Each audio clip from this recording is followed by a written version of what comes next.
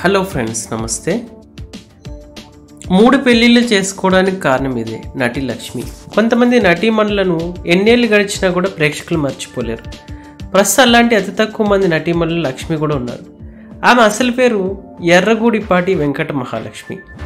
పంతొమ్మిది వందల అరవై ఎనిమిదిలో మంచి మంచి సినిమా ఇండస్ట్రీలో కొనసాగుతున్న లక్ష్మి ఎన్నో అవార్డులను సొంతం చేసుకుంది. తెలుగులో మురారి సినిమా ద్వారా ప్రేక్షకులకు మరింత దగ్గరయ్యారు. ఓ బేబీ సినిమాల్లో కూడా ఆమె నటించిన విధానం అన్ని వర్గాల ప్రశ్నలు ఎంతగానో ఆకట్టుకుంది. అయితే లక్ష్మి నటిగా ఎంతో గుర్తింపు తెచ్చుకున్న నటి. పర్సనల్ లైఫ్లో మాత్రం ఆమె కొన్ని చేదు అనుభవాలను ఎదుర్కొన్నారు. అంతేకాకుండా మొదటి భర్తని కాదని మరో రెండు పెళ్ళిళ్ళు కూడా చేసుకోవడం అప్పట్లో అందరినీ షాక్ గురి చేసింది. లక్ష్మి కేవలం పదిహేనేళ్ళ వయసులోనే భాస్కర్ అనే వ్యక్తిని పెళ్ళి చేసుకున్నారు. ఇష్టం లేకపోయినప్పటికీ ఐదు సంవత్సరాల జీవితాన్ని గడిపి అనంతరం కొన్ని మనస్పర్ధలతో విడాకులు ఇచ్చేశారు. అనంతరం మోహన్ శర్మ అనే వ్యక్తిని ప్రేమించి పెళ్ళి చేసుకున్నారు.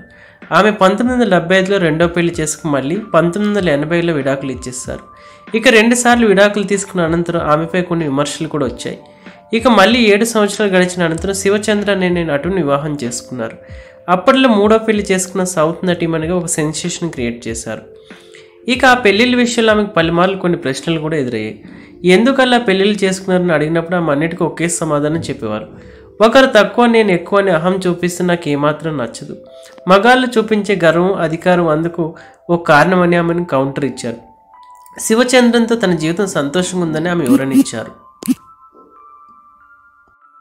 హలో ఫ్రెండ్స్ నమస్తే.